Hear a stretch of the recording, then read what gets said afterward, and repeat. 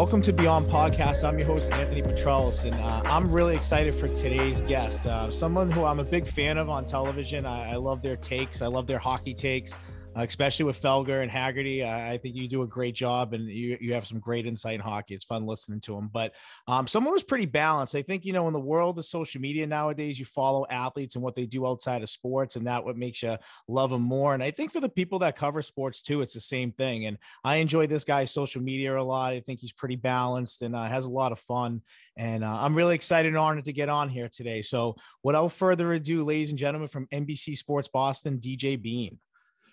Anthony, thank you so much for saying that. I must be I something good must be going on. The vibes must be strong because I I I not to say like, oh, I keep running into people who recognize me, but I ran to a person today who was like, "Hey man, like he, he also used the word balance." And I was like, "Can you swear on this?" Yeah, go ahead, go for it. Yeah, go I was like, it. "Shit, I'm balanced. Cool. Okay. what I mean, I, I guess that just means that uh we're all we've all lost our minds in a, a, a lot of ways but uh yeah I, I, I don't know like if i'm balanced as much as i think we we we met recently and we were talking about this like i just don't take everything so deathly seriously that yeah. uh it's i don't know i guess it's a little easier to be uh, a little more even keeled if you're like if you hear something that you disagree with if you don't have a meltdown which is becoming uh kind of the norm so I don't know. I just want to sit around talk sports. Yeah.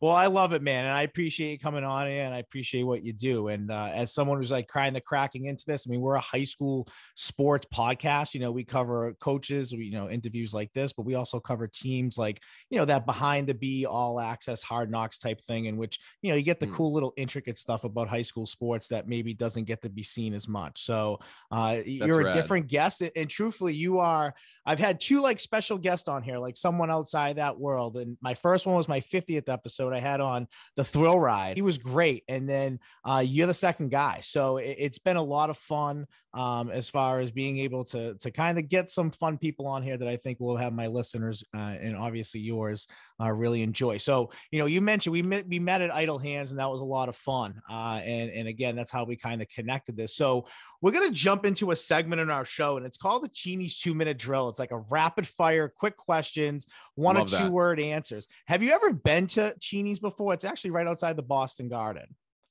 I have not, but I'm always looking for new places outside of the garden. Okay, Friend Street, 252 Friend Street. Go to Cheney's. It's right next to the greatest bar. Uh, okay. Uh, uh in my opinion, I know they're known for their R and Cheney's, but I think the best calzone in Massachusetts. It's that like soft pillow. You bite into it. It's doughy. Um, and and obviously a calzone's a calzone, but there are arancini balls, mac and cheese, buffalo chicken, traditional. Pizza's perfect, and Joe Spagnuolo, the owner there, is is the man. So I'm telling you, if you're ever at the Garden, you're covering these series coming up, you got to try it out. It's unbelievable. Oh, say no more. I mean, we so we met at a brewery, and so much of the experience with breweries is like is the beer good? Is the place good? Are the vibes good? Meaning, like, are the people good? Is it run? Is it owned by or, or run by by good people? So you just gave a hell of a sales pitch, and I'm going to the Celtics game on.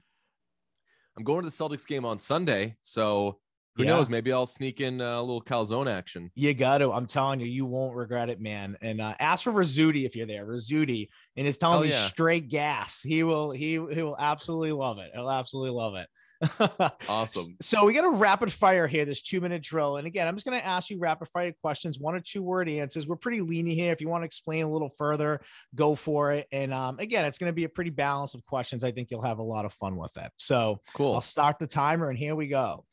Person who you work with who takes the longest to get ready, whether that's hair, outfit, makeup, whatever, who takes the longest? Um, I shoot there's I don't want to let me see who does take the longest to get ready. Uh honestly, it might be me. I don't think that I do take that long, but everybody's pretty efficient. Uh everybody is pretty efficient. All right. I love it. I love that. Okay. Um person who who person who you work with who is like really accurate with insider information. Like when they say something, they're right a lot more than they're wrong. Uh, I mean, Tommy Curran, Phil Perry, all of our like nobody i don't know anybody who says anything that I know when they say it, I'm like, oh well, I know where you got this from. This is just going to be that. So sorry, I just gave a super long answer, but no, that's I trust great. everybody Hey, I work with. I trust everybody I work with. There we go. There we go. Song that still gets you like juiced up when you're at a game or when you hear it come on in a game, you're just kind of like, oh, this is cool. In the air tonight would be so cliche. Honestly, I don't get mad when I hear Uptown Funk. Okay. I like that. I like that a lot. Um, which like local and national sports reporter or commentator, who's somebody that you kind of really respect or like look up to uh, when you got into this field a little bit? Uh, Mike Felger, Rob Bradford, Michael Holley. When I was a kid, I loved Michael Holley. As an adult, I love Michael Holley, but as a kid, I really looked up to him. Um, now it's not even close. Stephen A. Smith, he's the goat. Yeah. Yeah. He, he, he does. He gets funnier and funnier, man. Exactly. Uh, he's he, he's the best. I, I could do 45 minutes on Stephen A. Smith. That's great. Um, are you excited for the three ring circus coming to town and the Brooklyn Nets and the Kyrie circus that comes with it? Absolutely. You get an Eastern Conference Finals in the first round. Hell yes. I can't wait. I want to go to every game. And you're spot on. It is an Eastern Conference final. That team's healthy and has, you know, Kyrie all year without, you know, the, the whole COVID thing. Then, you know, that's a team that's one, two, or three in the East themselves. So uh, it's interesting. Uh, most memorable sports moment that you've covered uh, at, a, at a professional sporting event? has to be game seven of the 2011 Stanley Cup final.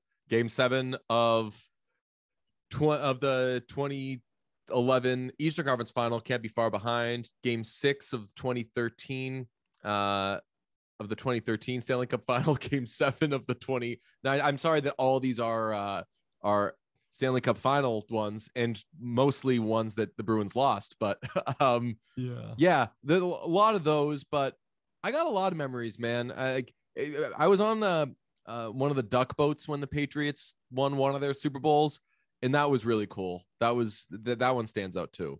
See, that's cool. I mean, I, I'm sure you have a zillion stories like that that are just like for someone like me, I'd be like, oh my God, you did what? You know, so Oh, dude, nothing is more nauseating but enjoyable. Like I can hear us when we do when sports writers or sports reporters get together and just like reminisce and wax poetic and they embellish whatever thing happened a million years ago they were at and they say like and then so and so comes up to me and he sticks his hand in his face and it's like he didn't stick his hand in your face but like it, all the stories we remember are like way more dramatic man i have a ton of stories i have a ton ton of stories from that 2011 bruins cup run Well, I'll tell you, I'll tell you a great story about that. I got married on game five of that series. wow And I remember, you know, as the Bruins were in the playoffs, and, you know, I was like saying to my wife, I'm like, you know, if everything lines up here, we could be in trouble. Like June 10th is right around the end of the Stanley Cup, you know, and this was back in like March, April. And she was like, yeah, yeah, yeah, yeah, yeah. And then just kept getting closer and closer. And then whenever they, you know, won that game in t- against Tampa,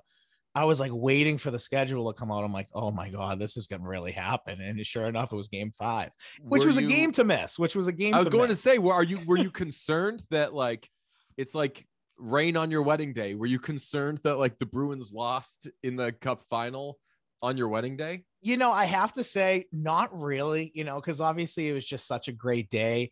Uh, but it, I'll tell you one thing, it was funny. Like we had like a head table, so we were like a little bit of like higher up than everybody else. And to see all these guys just like looking down on their phones, like I'm like, I get it. Like I Oh, get it. Because if this was not my wedding and I was sitting in their seat, I'd be doing the same exact thing, you know. So um, but I'll tell you, yeah, it was it was a game to miss, I guess, when you look at the bigger picture, game six, Oh, game yeah. seven. And uh, but yeah, that that's my funny 2011 story for you. Um, amazing. and I'm going to ask you one more question here because we'll jump into this later on in the podcast. But who has a better chance of winning a championship in the Boston Garden this year, the Celtics or the Bruins?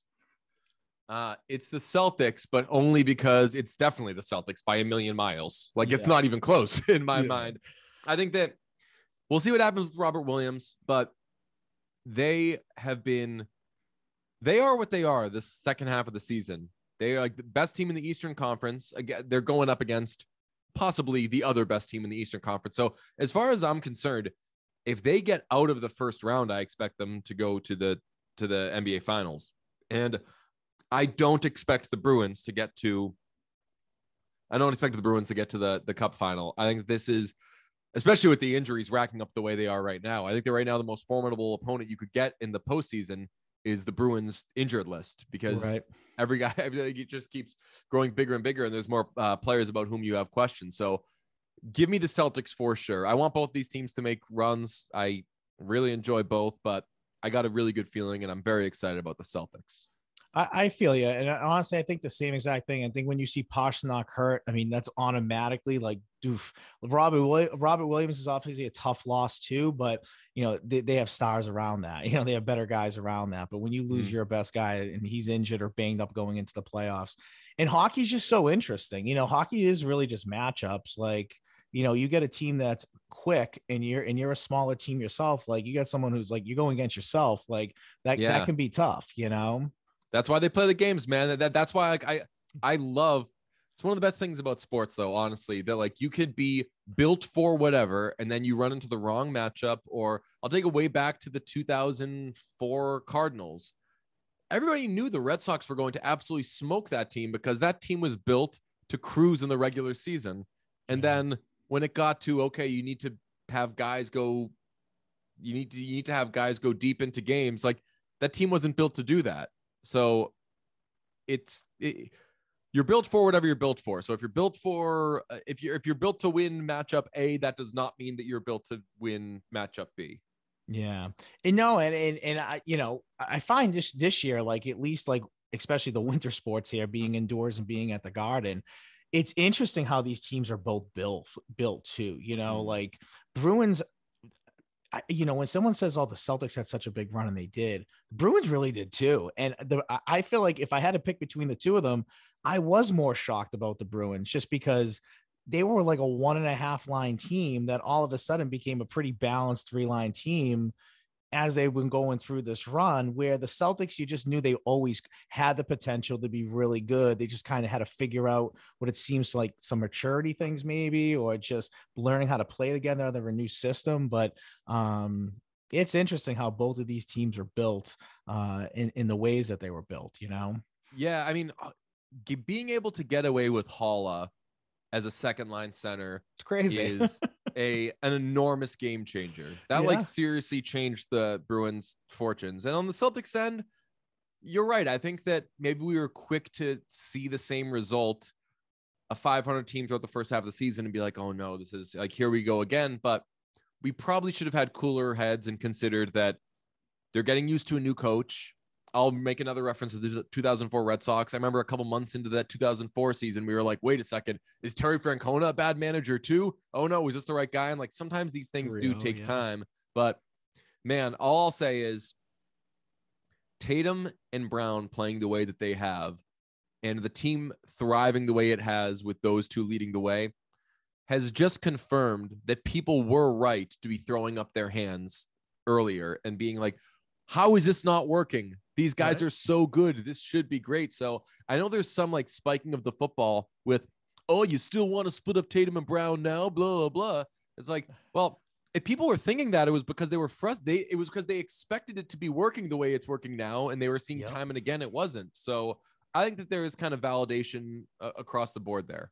Yeah, and and I just to kind of maybe even one up that to a point like yeah, we your your whole team was built on this, right? Your whole team was built on the idea that you got back-to-back draft picks that you stole from Brooklyn way back when mm-hmm. and they made you so much better and it's just like right, an NBA life expectancy only goes for so long and yeah, at one point you're like if they're not going to play the way we think we can play, let's just get the highest value for them right now and try to start this over and obviously thank God, like thank God that, you know, people did it, you know. Oh yeah, I've talked to Lakers fans who are like, "Man, I really wish that you guys never turned that around and that you ended up trading like Jaylen Brown for Anthony Davis or something." I mean, was think like, about "Oh." that now. Think about Yeah, right. Like imagine if something like that happened. Oh my god, we would have never known what what this team would have done. Yeah. So it's all interesting. And yeah, so th- th- that's good, you know. And to me, like nothing like Brown, Jaylen Brown's video of just like, I'll take this team over anybody. Like to me, I watched that a zillion times and I'm like, he's talking directly to Brooklyn because they knew they won that game. They knew they were going to get the two seed. Yeah. Like, let's go. And I was like, that was like the, probably the only time I finally got excited to be like, all right, I'm glad this is the first round matchup. Like, there's a lot of stake here. Dude, you know what it was for me? I don't know if anybody heard this, but Jayson Tatum was on Draymond Green's podcast a couple of weeks ago, and the pull quote was um Draymond Green, or like the, the headline, like the thing that everyone was talking about off of that was that Draymond Green said to Tatum, uh, if you don't win MVP next year, you're weak as fuck. Uh, and that was like the big takeaway from that. But I listened to that whole conversation and and that was said lovingly, by the way. But I, I, I listened to the whole conversation and Tatum was talking about this team and like what it does well and everything. And he was like, man, like a big thing. I've been on a lot of different teams before. He was uh, like, and he asked, like I did earlier, he said, Can I swear? And Draymond was like, Yeah, say whatever you want. And he said, like, our guys give a fuck on defense. And Draymond like was like excited about that because he was like, man, like when, when you have it, when you have like guys that like give a fuck on defense, right? That's that's another level. And obviously, the Celtics are the number one defensive team in the NBA. So I suppose it's not a surprise. But just like the way that Jayson Tatum, all galaxy offensive player, is talking about like, we defense. love playing defense. Like, right. I was like, okay, then I'm ready to run through a wall right now. Present yeah. me with the wall. I shall run through it and that's what and that's what you want to hear you know that's what you want to hear from like your young superstar because again you watch the league i mean let's it's all about the three ball right you're not watching mm. somebody who's like oh i'm watching this game tonight because this guy's lockdown defense is this percentage and blah, blah, blah. like no you're going to watch a game that both teams want to score 100 plus points and maybe even to the 120s and 130s that's an exciting yeah. game an nba product that they want and defense isn't as you know as I guess marketable or sexy, whatever you want to call it. But um, interesting. So I'll switch gears here for a second because you know I, I, I, said I'm a huge fan of you on TV, and and I think that your takes are great, and I think you know you add this like young perspective I think into the world of covering sports and asking questions that maybe people wouldn't have necessarily asked before, as far as thinking of reasoning or thinking of why somebody made a decision or did what they did.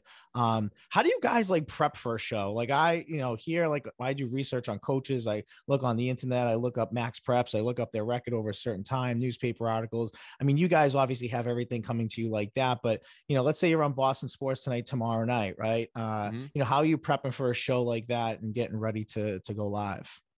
Uh, I will. I mean, the preparation is being a sports fan first and foremost. Like, I'm more than acutely aware that if I'm unable to make it, uh, you are capable of filling in. And that's not to say like you as in like, hey, grab this guy off the street. I'm saying like another sports fan can do that job. Like, so you could go in and do it. A million people could go in and do it. So I do appreciate the the, the kind words, but ultimately, at least for me, I think that it is sports fans, people who enjoy sports, talk hanging out. And that can mean they're talking just about sports. That could mean they're talking about whatever else they might be talking about. I think the Zolak and Bertrand is an incredible show because there's none of the and everybody has this habit so i'm not talking about anyone in particular but like it's very easy to be doing a show be it radio or television and be doing a radio or television show and blah blah blah, and like get all broadcastery. And i uh i don't have that club in my bag really. So i'm more and and I, the, the people who are good at that that that's fantastic but i don't think that's as engaging for the average. I think like they want to feel like they're hearing sports people talking about sports. Uh, so that's all to say. My preparation is just being a sports fan, watching games, being on Twitter, arguing with people there about sports, talking to my friends about sports.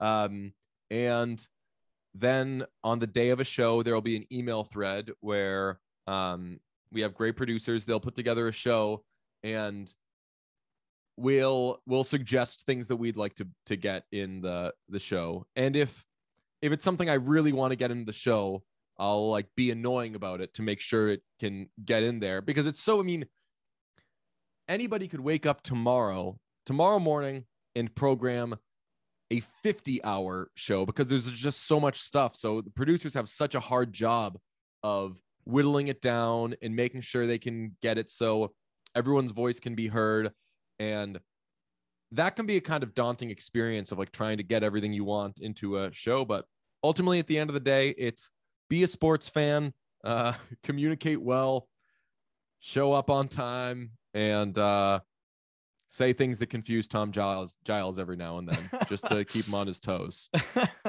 no, I think you guys got great chemistry. Truthfully, I mean, even going back to like Boston Sports tonight with you know it was like a four host, you know that you kind yeah. of did like a four square. Like I thought that that was really interesting. Like kind of uh, you know when I saw I watched you guys a lot, you know, it was just interesting to have not always maybe the same person or the same two people. And that's not a knock on Felger and Holley. I think they're great.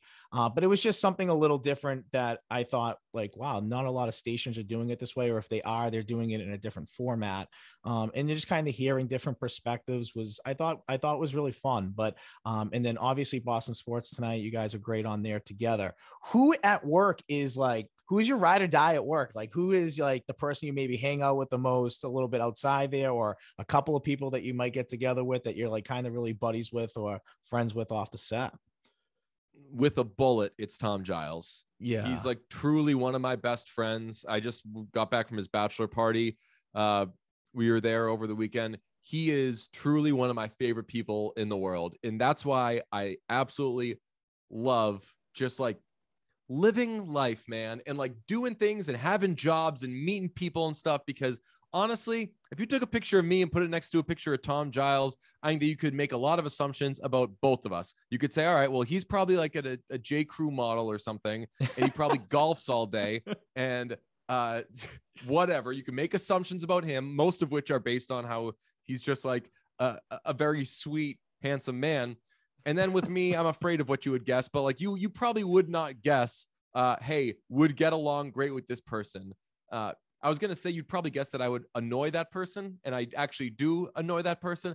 But that's all to say, like we met at, we'd worked together for a little bit, but we weren't on the air much together. And then uh, we just hit it off at a holiday party one year. He was like new and he was still freelancing and we just talked for a few minutes and i was like shoot i think that guy's going to be one of my best friends and we've been extremely tight since like i'm sure i'm sure i drive him crazy and i certainly try to push his buttons on TV. Like I'll I'll like mess with him. Like if something's coming up and I need to be reading something, like a couple weeks ago, I like took out my phone and started like taking a video of him or something when like it was about to come to like the camera was about to be on me in like three seconds just to like make him un just to like make him think that I was about to ruin the show. But I never do.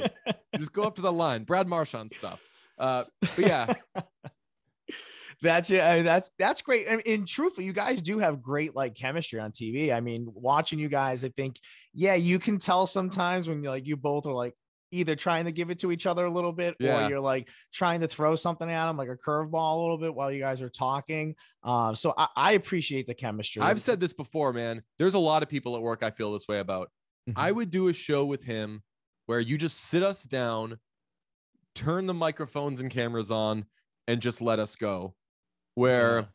because so many times I'm just getting in the honestly, I'm getting in the way of whatever show they're trying to do. They'll have all these packages and clips and sound bites and everything. And a lot of times I don't need that. A lot of times I'm like, oh no, no, you, you just give us an hour and we'll get to whatever we need to get to. Um, and I don't mean I don't mean to say that in like a disruptive way because again, like there's no harder job than producing a TV show.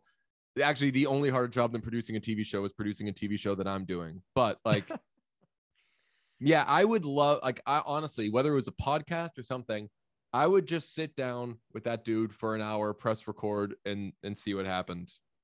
Because yeah. he's a funny dude, man. He's he's super funny, and he's he's kind of been cast as like the straight man, and that breaks my heart. Um, yeah, it it it breaks my heart that like there's a uh, that uh, it can be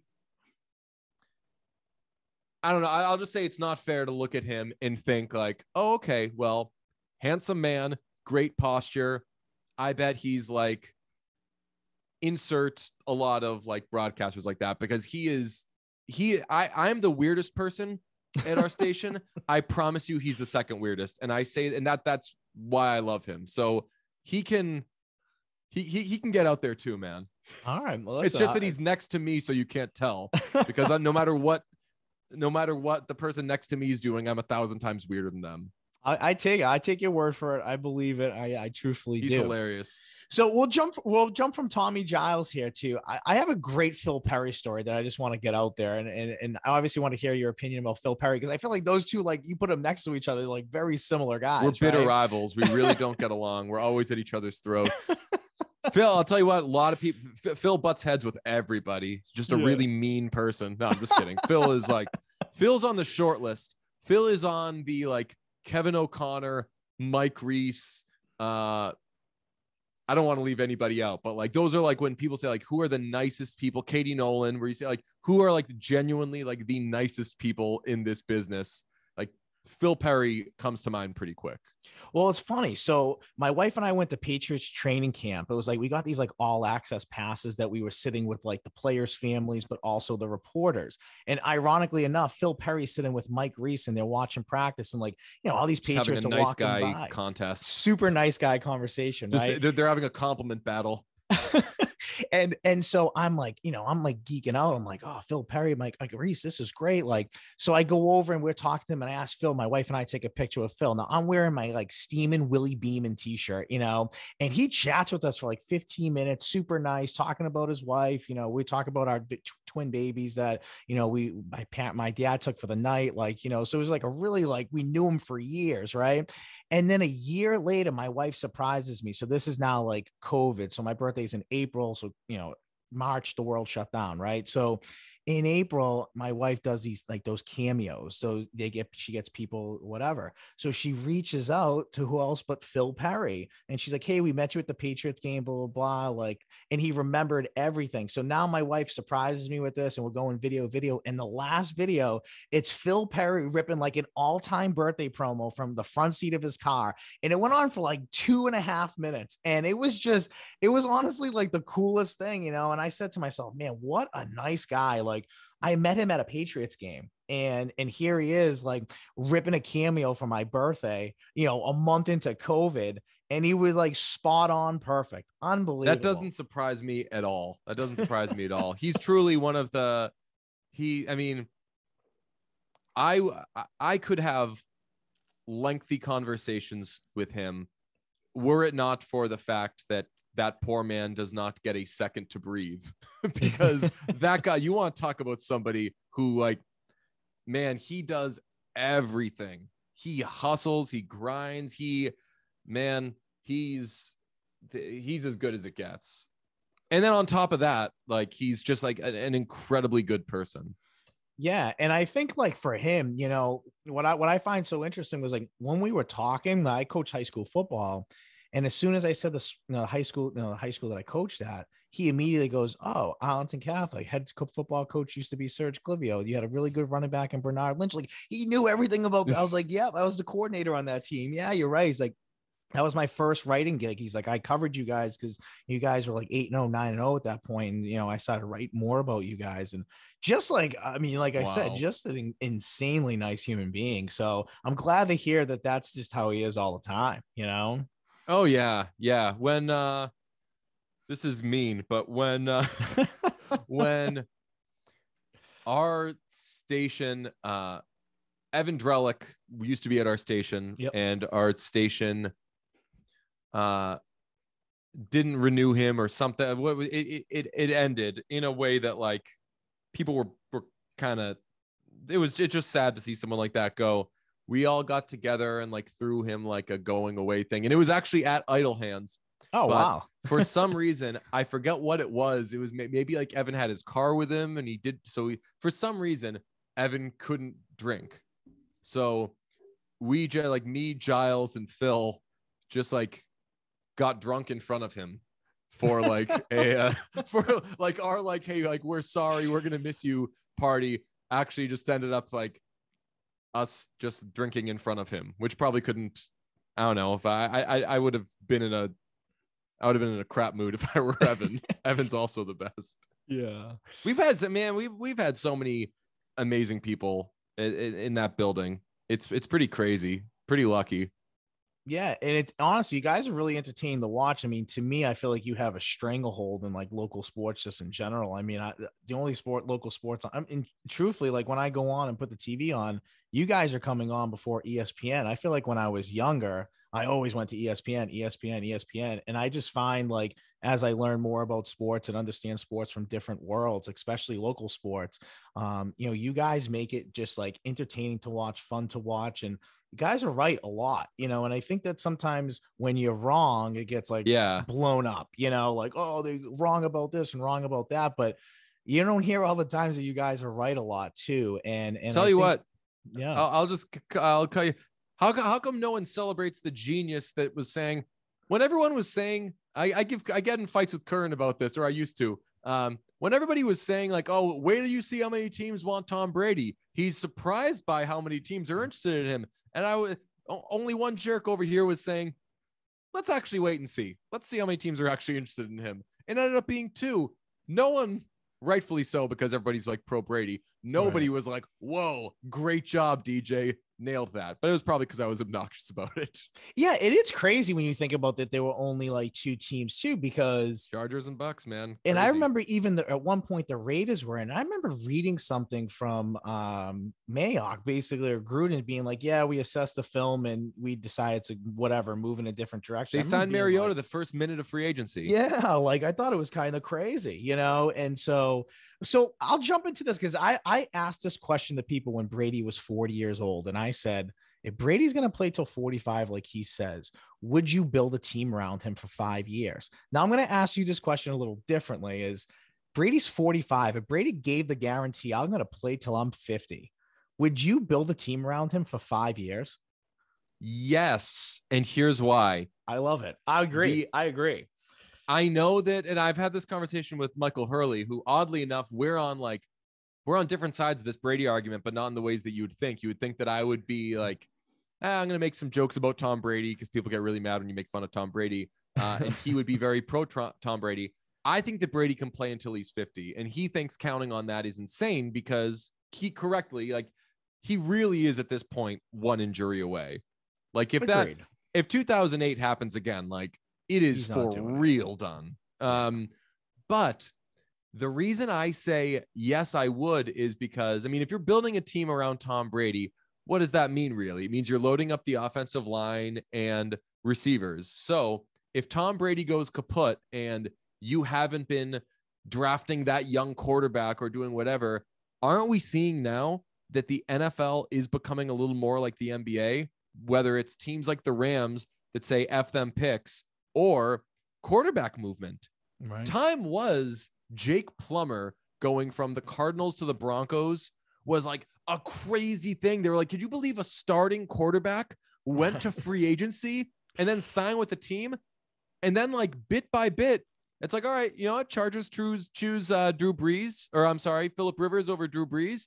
All right, so Brees is out there now. Culpepper's out there now. Weird. Kind of the quarterbacks are starting to move around. You got Kirk Cousins going signing a fully guaranteed deal.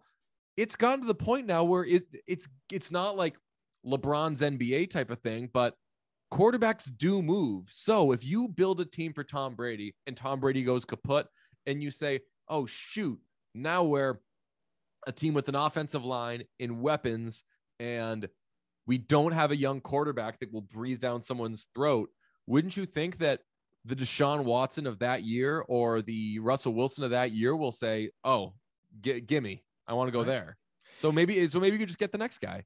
Yeah, I mean it's so interesting because it's like you, you when you probably asked that question when he was 40, you could arguably give the same exact answer, right? And then here it Yeah. is 5 years later and probably got cheated out of NFL MVP in my opinion. I think that's I, think he did, you know. Yeah, he was close. He was. I actually wanted him to win MVP because uh, another one of my takes was Brady's not going to be that good here, but if he goes someplace else, he's going to bust his ass and he's going to have a team. He's going to be on a loaded team and uh, win MVP. It did annoy me that when he went to the Super Bowl last year with the Bucs, everybody was like, "See, he's doing it. Look what he's doing. He's bringing them there." And I'm like, fellas, or uh, ladies and gentlemen, are we watching these games? Like the defense is absolutely carrying him, and he's playing so-so. I was relieved when he played well in the Super Bowl because if he had a bad Super Bowl two and then won, the takes would have been nauseating. Right. And then you, should he be should he really still be playing? Has he lost it? Like is he a liability mm. next year? Like right, like all that stuff, right? Mm. Um I'm interested in your take on this because I'm noticing a it's starting the trend in football a little bit and I just I'm interested to see what you think and I know they've talked about it on your channel before, but um, the idea of quarterbacks then going in the draft the following year after you draft a quarterback and really trying to go get a weapon that they're familiar with in college. I mean, you see it in Cincinnati, you're seeing it with all the Alabama quarterbacks. You're mm-hmm. now seeing it with Carr and Davante Adams coming together. Yeah. So, you know, is that a trend that you think is going to start happening more? And you mentioned NBA a little bit, but almost kind of like picking the team that you want to go to or signing these receivers for four years, knowing that you might trade them after two years and they want to go somewhere where they're like, do you think that that's a huge trend that's going to start happening in football? If done well, sure. Like if the receiver is Ja'Marr Chase, right. then I might even draft a bad quarterback if it can somehow help me get Ja'Marr Chase, if that's like his teammate, or if it's Davante Adams. But I mean, if and obviously uh, Mac Mac Jones played with every good receiver prospect ever because he went to Alabama.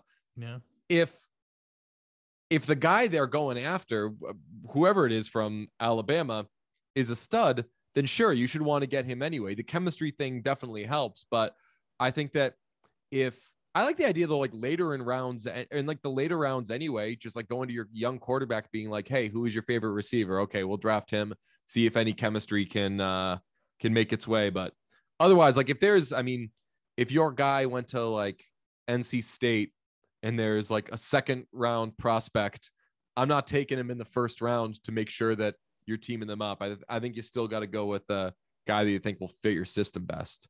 Yeah, and I think it's I think it's maybe an SEC thing at the end of the day. Like you know, yeah. these quarterbacks are that good, these receivers are that good, especially at those two schools alone. Uh, it, that is really interesting. Also, um, I'll say yeah. on uh, quickly on the Raiders. I don't know which teams from the AFC West are making the playoffs, but I'm pretty sure the Raiders are one of them. I think that the people are kind of sleeping on the Raiders, if it's possible to sleep on an AFC West team right now. Yeah, and I think that that's the most uh, that could be overnight became really the most difficult uh division in football. Oh yeah, now. that's a buzz saw. Like I, I'm a I don't know if you can see in my shot. I'm a I'm a Chargers fan, and man, Maxx Crosby absolutely killed Justin Herbert, and in that week's uh, in that week 18 game, and uh, they they went out. The Chargers did. They loaded up their defense. They fixed a lot of their problems, and Justin Herbert's probably feeling, well, at least I got a defense now. Okay. And then the Raiders get Chandler Jones to put on the other side. I would have, that poor guy, man. I think the Raiders are going to be awesome. Yeah. And getting that extra pass rusher is just, especially yeah. a guy again familiar familiar with that whole Patriots or I guess with behind McDaniels too. Mm-hmm. Um, so just to you, like, and I'm just more curious, like outside of who you are, the sports personality. I mean, I, I see on your Instagram a lot, you're into music, you play the guitar really well. I mean, who are you a little bit outside here? What are some of your interests and maybe even aspirations uh, moving forward of what you want to become? Yeah, I mean, I I have a podcast called Brunch. Uh, that's a pop culture podcast. I do a lot of like movie review stuff. I do that on some of the other NBC channels. Um, I love music. I can talk about it all day, love playing it, and just endlessly fascinated by it. Uh, honestly, I just want to create things and I want to do things that are engaging. And I'm fortunate that a lot of the things I do for work kind of check those boxes. I want to, like, and my work knows this. I'm probably not the best person for reading you highlights or giving you a box score or something. And I don't necessarily want to do that. I want to be the person that has a conversation about it and says, I mean, it was very nice of you to say earlier that like says something that maybe everybody else wouldn't say. And that's because I'm probably not as smart as everybody else, but like uh I I I like that I'm not the same as um, that. I, I I'm not like what you would think of when you think sports television personality or even television personality. But I mean, as far as aspirations go, uh, I love what I'm doing now. I just want to keep making things. I love interviewing people. Uh, I'm probably gonna try to get more involved in like the social media side of it. Yeah. Um, so I guess that's my way of saying I probably need to start a fucking TikTok at some point or whatever. Everyone tells me to start one. Like everybody, I just feel like, am I gonna Dude. be like that older dude on TikTok that like I made gonna like, one. what? I made one because there's an Olivia Rodrigo song, and the lyrics are, "I bet she knows Billy Joel because you played her Uptown Girl." I Bet you even tell her how you love her in between the chorus and the verse. So I made a TikTok explaining that Uptown Girl goes right from the chorus into the back into the verse. So there's no time to say I love you to somebody during that because it, because she thinks I'm not so tough just because I'm in love with the up to, and then it's back in the verse. So I made a TikTok explaining that that Olivia Rodrigo lyric was bullshit. And all of the comments are were like children being like not this man saying blah blah blah blah blah. And I was like, "Yep, sorry, my bad. I'll I, will i will go." It is shouldn't be here. crazy. I mean, I'm a I'm a fifth grade teacher, and like my students are always like, "Do you have TikTok?" I would try looking you up on TikTok because they know I have this podcast. I'm on you- YouTube, and it's crazy. I'm like, no, I don't have TikTok. No, I don't, and this is exactly why I don't have it. You know, and I mean, I've even had like ish like nowadays in school, I feel like a lot of the issues come more from social media than ever, and TikTok is one of those things now that Yeah. like there's more issues because of that than anything else, and even I don't even know how to deal with it because I'm like, I don't even know what this is. Yeah, you know? have. It's truly one of the things where when you're a kid and an adult says to you, "Hey." Trust me, I've been there before. And you say, Oh, you don't know what you're talking about because you can't imagine that that adult was ever a kid. right. You are a fucking lying if you say you've been there before with any of these things. This is the first generation that is going through this. Right. It's insane. it's Poor scary. kids. It is Yeah. scary. Um, and then the last question I'll just ask you, you know, just like, uh, and I ask my coaches this question a lot, and, and I'll flip it to what you do. Um, what's your advice to young people looking to crack into what you do? Like, you know, you mentioned just like having a personality, and that's what I appreciate about you. I think that that's what's so important is that everything's getting covered nowadays so differently. Like with a Mhm. cell phone, like if I go on Max Preps or I go on all these high school things that I follow, the best footage or the most views, the things that get the most likes are taken right from your cell phone on the sideline in the stands, catching something unique. And it's not this like beautiful high def, like whatever, right? And and that's what I find so amazing about like sports nowadays and covering that. What would be your advice to people who are cracking into it and just just how to do it?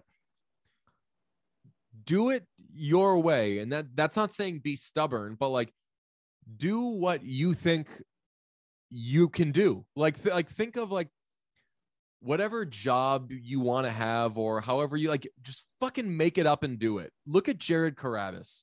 That Right. guy is the undisputed face of baseball and it's because he's just a fucking diehard baseball fan who's a super cool funny dude and he liked making jokes about baseball and do and just like re- breathlessly talking about it and relentlessly covering it and a way he could have done it would have been the traditional route that like I took. I went to I got a journalism degree. I interned at weei.com. I started writing. I was a beat reporter. I worked up my contacts. I worked up my interviewing skills and everything. He was just himself the whole way. And I'm not saying that I did it the wrong way, but uh, I am saying the way that he did it works. Look at Tyler Milliken. I don't know if you know who that is. He's a producer for um for Zolak and Bertrand and he's a kid and I am this kid's biggest fucking fan because he's so clearly just doing it his way. Like eh, very much in a hey, look, I wouldn't be able to do it your way if I tried. And I I can kind of identify with people when I see them like that because like I was saying with with my work, I'm sure I could put on a voice and say like, "Hey, welcome into the program. We're going to discuss if the Celtics have what it takes. We'll be right back." I can't Right, really do that. or I, if I did, I feel like there would be uh, some like artifice there.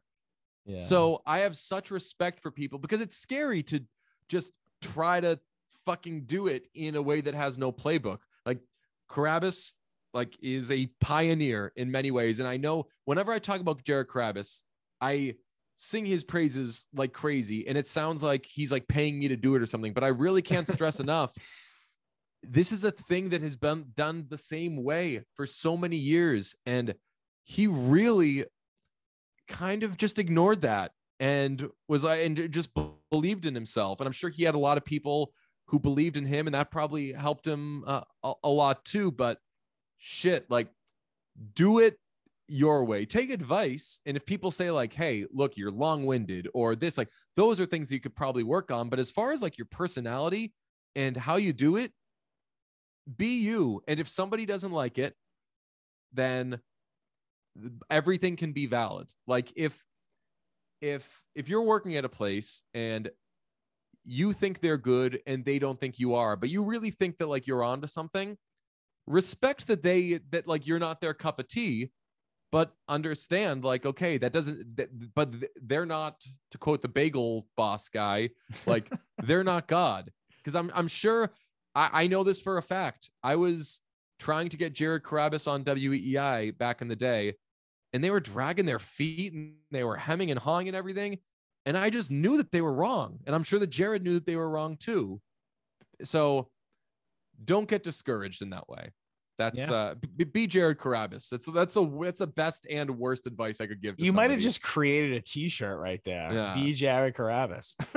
i'm sure if jared heard that he'd be like don't tell anybody to be me like don't they, they, they don't want this Yeah, I mean, you know, I think that that's that's really great advice because cracking into this, you know, the, I'm kind of doing everything the way that I want, you know, and some people like, oh, Yeah. you should do this or oh, you should do that, but you know what? Like things got to fit who you are, and sometimes molding into something to to be what you want to be is you're not as good at it because you're not and that's what i find so unique about you i think like watching you and like listening to you i don't think you just like always want to go with like the same take or talk about the same exact perspective of a take like you're always looking at something from a different angle you're always looking at something to kind of be able to bounce and throw back and be and like if it's well, if it's yeah. going down a road too i feel comfortable doing this with giles I'm not as comfortable doing it with other with like my, my other coworkers because i don't want to like fuck up their thing if i fuck something up with giles then it's like well it's my and giles show so whatever we fucked it up we, I, the only person that gets embarrassed is me but like if i feel that something's going down a road that's obvious and like we're just gonna say something that anybody could have fucking said and that we've already said a million times right I'll like lightly change the subject or I'll like pivot it a little bit. I won't say, okay, let's talk about Bruins now instead of Patriots, but I'll just be like, okay, well then what about this? Giles is good at that too. Like we don't want to do the, I mean, we had the pandemic, man, quarantine. We, for technical purposes, among other reasons, we did the same fucking show about Jarrett Stidham. i was Jarrett I, you Stidham know i wasn't gonna say it i Every wasn't but let's talk like about it. nobody wanted to be like that, but that's just that, that that's the way it had to be because our hands were tied in so many ways. yeah We were doing the best job that we could, but after the shows, we'd be like, well, hopefully I was able to put like a, a nice different coat of paint on Jarrett Stidham because we were everything was remote. We were in Zoom, people couldn't get in the building and everything. Like our poor producers, it was just it was so tough to do those shows and it killed me. Like it, it, it seriously killed me to uh to that, that that we were in that spot and it was nobody's Yeah. fault other than the pandemic but man those were that's that's where i was like man that that's where like i would have loved for it to have been hey just press record and let us go. Because like i was so jealous. Zolak and bertrand they were doing shows about fucking pickles man. They were talking about like they were talking about everything but we we like had to do like a real show and can't do a real show on pickles. Right and and honestly that's like how i started. I started during the pandemic. So for me it was like i had that freedom to kind of talk about whatever i wanted to talk about and didn't have to talk about the same thing over and over again because all these coaches are looking for a platform to talk about you know what they're doing maybe on zoom or how they're preparing their players on like their huddle app or their film apps or whatever. So i, I totally get it. And for you guys you had to be creative in ways too as it kept going and going and going. But yeah i remember those weeks it was what was that? Um, Carson Palmer's brother. What was it Jordan Palmer? Oh yeah, yeah. Talking about, oh yeah, he's better than any quarterback. I'm like, get what, dude? Like you just trying so to get on So that's where like so right like i now? called that out in real time i was like curran i love you and you're having eh, who you would want to talk to somebody who worked with Jarrett Stidham. Like you do want to get his perspective, but we're all gonna take that with a grain of salt when he says that he's like the most pro-ready quarterback or whatever he was saying. And now in Curran's defense, Curran wasn't like taking that as gospel either. I don't think. I think he was just merely having a guest on his podcast, but that guest happened to say something that uh, none of us believed. Yeah. well, it's Like, interesting, like, cause like even in, in Find That, look, what I loved was like when Phil Perry did, like he was having a podcast with like coordinators or like safety coaches. Or I, I thought that Mhm. was like smart and really cool. Um, like, and, and I kind of stole. I reached out to Kyle Dugger's, um, defensive Oh, back cool. coach in college, and he agreed to come on. And he was a tremendous coach himself. But him showing me film of him a little bit, and then getting that little talk of like, hey, what teams were like really interested in him? And the one thing he said to me that like really stood out was he's like, you know, the Patriots came and we we talked to them, you know, is average or maybe even less than most teams. And he's like, I thought he was going to Buffalo. Bills. I was gonna say sudden, everybody boom. thought he was going to the Bills. Yeah. and it My friend is a big Bills fan and he was devastated when the Patriots took him. And it was just funny because I mean he would fit the Bills like I feel like secondary, like he fits that Oh, prototype, yeah. big, physical, tough. Like Yeah. I could see him playing well, very well there in that defense. Uh, yeah. But yeah, I think he was a steal, but I get it. Like you, you got to be innovative, and I think that you know, yeah, that Stidham was tough, but I felt like you guys, I thought I you guys did a promise, great though, like, job. You're right. Like we do have to be innovative, probably to the point of being annoying. Like I promise, I, I try. like I, it's it, it, man. Like it, it, it can be difficult when there's like stretches where there aren't games or something like that. Or I mean, to take the quarantine thing out of it, like it. I think everybody did the best they could in every field In anything, as, right. As far like that, that was like insane. That that factually should not have been happening in the world. Like that that like yeah, like I would not have thought that in 2020 that that like a pandemic could still happen. You know, like it was crazy. So Right. I so take that out of it. It can be like there are like dog days of summer or whatever where it's like, okay, well, shoot, there's nothing to talk about. What do we talk about? I will always be down to try to get weird and get creative with it. Hey. And that's again like Zolak and Bertrand, man. I have so much respect for them. That that that whole crew because they'll do the thing of they'll talk about sports like eh, it, they're not going to miss a sports story to talk about whatever nonsense they talk about but sometimes we as humans do talk about nonsense and i think that sports radio listeners or sports television viewers are also interested in that stuff giles and i did a, a betting segment about the oscars because if you bet on sports maybe you also want to bet on the oscars so like right. shit like that i don't know man i It drives a I'm- different audience in, right? Like, it- Yeah. I mean, it really does. You know, when I did this, like, I looked at my analytics and it was like 80% male, 20% female. I'm like, all right, how do I get female listeners up? You know, and then you dabble and do other things and you try other things that are maybe a little off topic from what you're covering, but you can still have that same conversation and same coverage, like you said with the Oscars. And I think it's it's genius. It gets other people drawn to you a little bit. Hopefully man we try we try well, listen, I want to thank you for coming on here today. I know you have a pretty busy schedule, so to be able to make this work and honestly, like meeting you at Idle Hands, like just a, straight up dude, very cool. Came right over. We had a half hour conversation, and it was like, you, you know, it's so you were just like this average person. But when I see you on TV, I think you're funny. Like to me, I was like, when you walked in, I was like, is that DJ Bean? Is that DJ? And then Well, everyone's like, dude, "Oh, yeah." I mean, the night we met was funny. It just shows how like I don't think I would have been able to do that even like 10 years ago. Uh I I was by myself there. I was supposed Yeah. to go. There was an event at Idle Hands. I was going and uh my brother-in-law was going and at the last second uh he couldn't make it and I was on my way anyway and I have a friend who works at Idle Hands and I was like, well, it's an event. I want to be there for it. Um, and I, I want to see my friend and I want to like show support or whatever. So I got there and I was like the guy at the bar that's just like there by himself. And I was like, okay, I'm just going to get a beer and socialize, which I don't know, again, like 10 years ago, I would have thought that was like an insane move or like a loser move or whatever. But shoot, man, I go to the movies by myself and that's the most fun I have. But yeah, like you, I just started chatting you and your buddy up and it was, uh, awesome time. We talked about sports, we talked about life. It was awesome. Yeah, it was really cool. So I, I appreciate this a lot. And again, I look forward to, to continue watching you. And if you guys don't pay attention to him, look at his Instagram. It's like D a zillion E's, J. So many E's, yeah. um, but uh, uh, just a cool follow. But again, pay attention to him, um, and and you guys will enjoy him for sure. So uh, from Beyond Podcast, I'm your host Anthony Petrellis, DJ Bean. Till next time.